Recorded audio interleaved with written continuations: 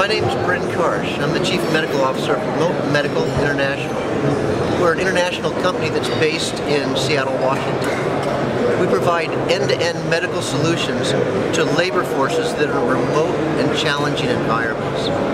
We have multiple projects across Africa in the oil and gas industry. One of them is in Tullow in Kenya. One of the things that we have brought to the project in Kenya is our snake bite program.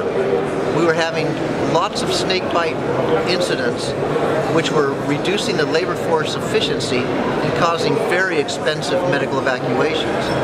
We've now brought the latest in, in vaccines to the Tullow project, along with our robust program that has snake handlers, along with the new freeze-dried vaccines. We're able to use these both for the workforce and the community, reducing mortality and morbidity across the entire spectrum.